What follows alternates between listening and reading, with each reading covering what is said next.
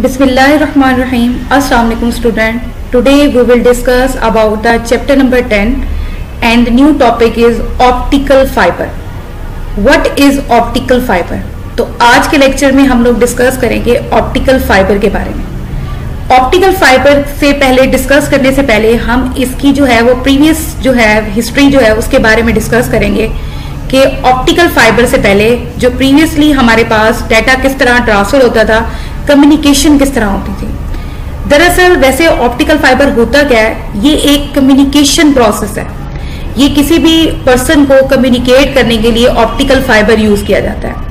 अब optical fibre क्या है? ये एक ऐसा डिवाइस है, ये एक ट्यूब ग्लास ट्यूब की बनी होती है और इसके अंदर थिन किस्म के जो हमारे पास होते हैं, वो वायर्स मौजूद होते हैं। इतने थिन होते हैं कि हम उनको हेयर लाइक वायर्स भी कह सकते हैं। और ऑप्टिकल फाइबर का इस्तेमाल कहाँ होता है? जैसे कि अभी बताया कम्युनिकेट करने के लिए, एक जगह से दूसरी जगह कम्युनिकेशन के लिए थ्रू आ सिग्नल्स के ज़रिए, और वो सिग्नल्स क्या होते हैं? लाइक लाइट सिग्नल्स उसके ज़रिए कम्युनिकेट करने के लिए ऑप्टिकल फाइबर यूज़ किया जाता है। ऑप्टिकल फाइबर के बनने से पहले किस तरह हमारे पास कम्युनिकेशन की जाती थी? तो उसके बारे में हम लोग क्या करेंगे? पहले हिस्ट्री के बारे में डिस्कस करेंगे। पहले हमारे पास जो हिस्ट्री है, वो है लाइट कम्युनिकेशन इन हिस्ट्री कि लाइट के ज़रिए जो कम्युनिकेशन होती थी हिस्ट्री में प्रीवियस पहले जमाने में, वो किस तरह होती थी?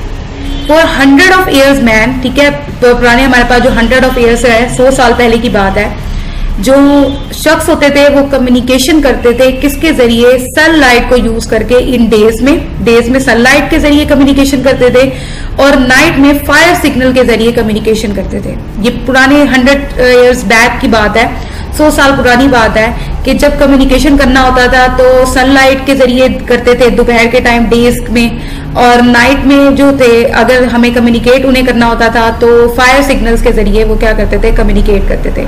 सनलाइट की रिफ्लेक्शन के ज़रिए और फायर सिग्नल्स के ज़रिए। फिर उसके बाद जो स्टिल इन नेवी जो थी नेवी जो थी हंड्रेड इयर्स पहले, वो किस तरह कम्युनिकेट करती थी? वो आल्सो लाइट सिग्नल्स के ज़रिए कम्युनिकेट करती थी, एक जगह से दूसरी जगह। ठीक है पावरफुल लाइट सिग्नल्स ट्रांसमिट करती थी। उसके ज़रिए अपने मैसेजेस जो थे, वो एक शिप से दूसरे शिप में कन्वर्ट करते थे। मतलब ये भी लाइट सिग्नल्स को यूज़ करते थे स्टिल नेवी जो होता था। ऑल्सो हंड्रेड ईयर्स पहले कम्युनिकेशन जो थे, उसके दो प्रोसेस थे। एक सनलाइट के ज़रिए थ्रू रिफ्लेक्शन एंड एक फायर सिग्नल्स के ज़रिए at a night so for hundred of years man has communication using sunlight in days through reflection and fire signals at night. Still in Navy, Navy army जो हमारे पास होती है ship वाली The light signals are used as mean of communication by using powerful blinkers light to transmit coded message to other ships during period of radio silence.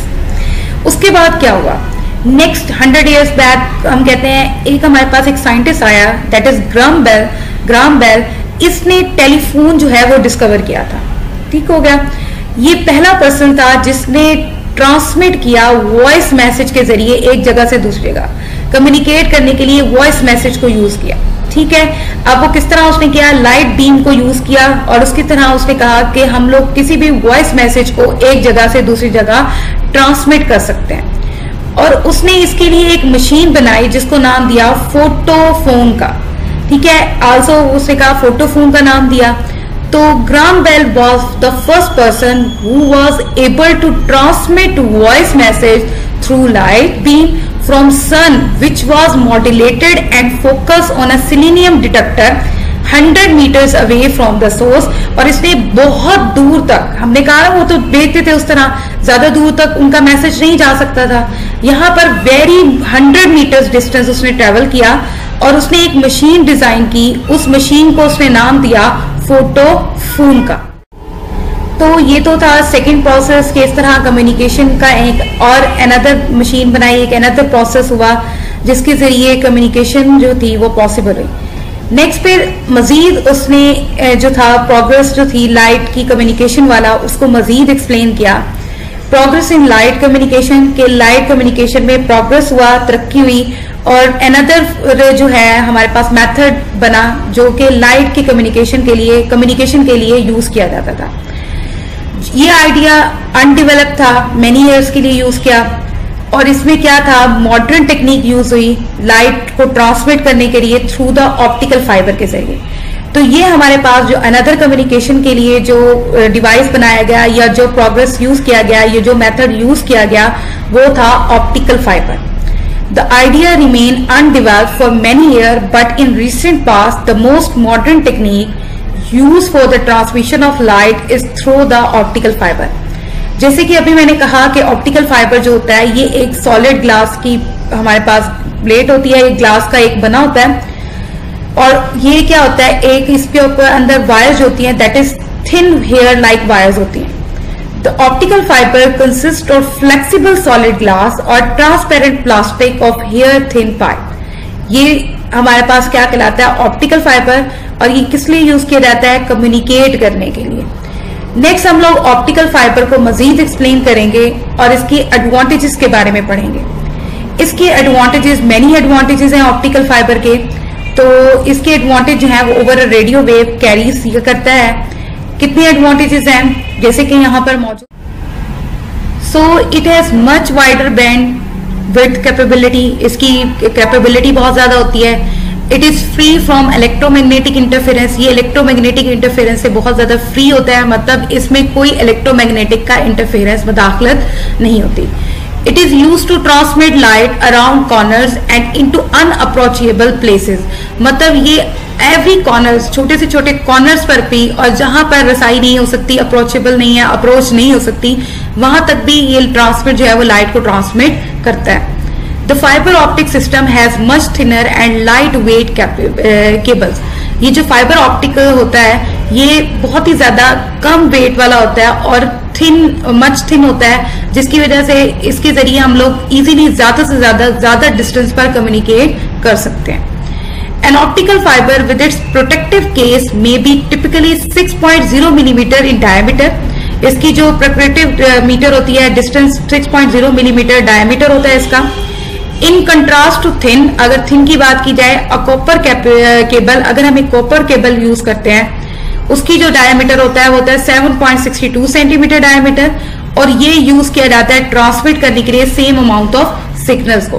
तो ये थे हमारे पास advantage of fibre optics next हम मजीद इसे explain करेंगे, इसकी uses of optical fibres को करेंगे, कि इसका इस्तेमाल कहाँ कहाँ होता है। इसका इस्तेमाल डायग्नोस्टिक टूल्स के लिए मेडिसिन में यूज़ किया जाता है, ठीक है, जैसे कि एंडोस्कोपी के लिए।